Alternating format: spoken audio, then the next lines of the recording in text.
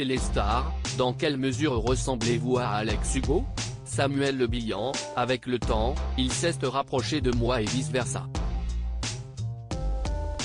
J'ai l'impression que si est une espèce d'extension de mon envie de liberté et de vivre à proximité de la nature, d'avoir des sensations dans les grands espaces.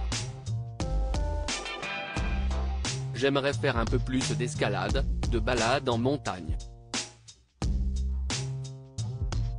Je ne peux pas car je n'ai pas le temps, je suis pris dans une vie plus citadine, même si je vis à la campagne. Mais je dirais qu'Alex Hugo si est ça, si est moi en beaucoup plus projeté dans la nature. Le personnage d'Alex Hugo vous a-t-il justement inspiré? Samuel Bihan, non, parce que j'ai toujours été comme ça. J'ai été dans le désert, j'ai été dans la jungle, je me suis baladé en Afrique, en Amérique latine. Je suis quelqu'un qui voyage et qui a besoin des éléments naturels, qui se ressource dans une forêt.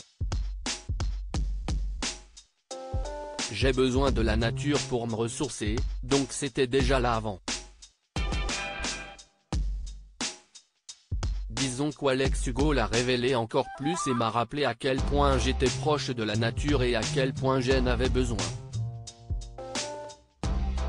Au contraire, y a-t-il de grosses différences entre Alex Hugo et vous?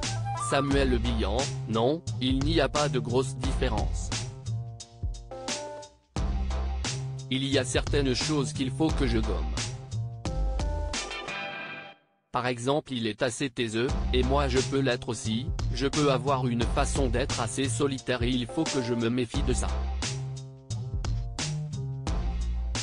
Parce que je suis quand même dans un métier qui est fait d'échange et de communication. Peut-être que j'ai besoin de me ressourcer par moments en faisant des choses très personnelles qui me permettent de me retrouver, de me recentrer, mais il ne faut pas que je m'aille enferme. Au contraire, il faut que j'aille vers les autres. Donc si est-ce là où je dois m'éloigner un peu de ce quest Alex Hugo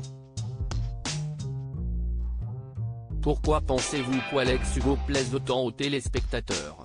Samuel Le Bihan, je ne sais pas, on ne sait jamais pourquoi les choses marchent ou ne marchent pas. Notre responsabilité, si d'être le plus sincère possible sur ce qu'on a à raconter et d'avoir un engagement réel, donner notre maximum. Après le reste, on ne maîtrise pas, si est ce qui fait à la fois la magie et la cruauté des métiers qu'on fait. Il faut accepter cette part de risque, qui fait aussi l'excitation des choses. Pour moi le pire, si est de savoir ce qu'il va se passer. Je sais qu'il y a des gens qui en ont besoin car ça les rassure, ils ont besoin d'avoir un cadre extrêmement rassurant où ils connaissent l'avenir et ça leur fait du bien. Moi si est l'inverse, je pense que si je sais ce qu'il va se passer, j'ai l'impression de perdre ma liberté.